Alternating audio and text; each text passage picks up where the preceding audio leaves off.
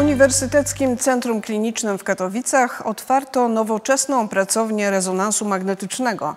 Jej utworzenie było możliwe dzięki funduszom europejskim. To 10 milionów złotych.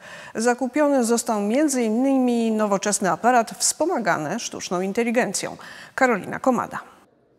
Błękitne niebo, widok na jezioro, a przede wszystkim nowoczesna aparatura ze sztuczną inteligencją. Tak prezentuje się nowa pracownia rezonansu magnetycznego w Uniwersyteckim Centrum Klinicznym. Inwestycja e, jest z środków Ministerstwa Zdrowia. Otrzymaliśmy ponad 10 milionów złotych e, na wyposażenie i zmodernizowanie tej pracowni.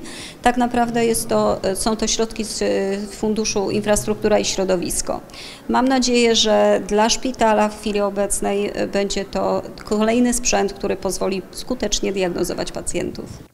A dostęp do własnej pracowni skróci też czas oczekiwania na wizytę i diagnozę. Nowoczesny aparat jest wzbogacony o sztuczną inteligencję. Ta poprawia rozdzielczość i jakość wykonywanych badań. Natomiast wyposażenie aparatu wpływa na komfort pacjentów. Dotyczy to specjalnych cewek, e, które e, nie są tak uciążliwe dla pacjenta. E, aparat jest wyposażony w system audio, który umożliwia słuchanie e, muzyki w czasie wykonywania badania, ponieważ e, aparat wydaje głośne dźwięki w czasie pracy. Pracownia używana jest kilkanaście tysięcy razy w roku, a ten nowoczesny sprzęt przyda się przy diagnozowaniu m.in. stwardnienia rozsianego.